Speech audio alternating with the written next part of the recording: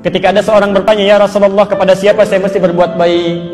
Kata Nabi, ibumu, ummuk, siapa lagi ibumu, siapa lagi ibumu, sampai tiga kali. Masya Allah, baru abu, baru ayahmu. Karena ibu itu mengalami tiga kesulitan yang tidak dirasakan oleh ayah. Satu mengandung, kedua melahirkan, ketiga menyusui. Dan ayah tidak melakukan itu. Maka bahasa Qurannya pertama kali mendahulukan ibu. Masya Allah. Dan dihunjamkan kalimat menyentuh kepada jiwa. Kalau dalam bahasa bebasnya begini, hei, kalau dalam keadaan sepahit-pahitnya kamu kurang nyaman dengan orang tua, coba bayangkan saat ibu mengandung kamu. Barangkali baru nggak diajak bicara selama tiga hari, ibu dulu sembilan bulan mengandung kamu.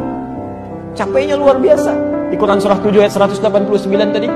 Maka tatkala kandungan semakin besar, miring kanan susah, kiri sulit luar biasa. Yang penting bagaimana caranya dia selamat.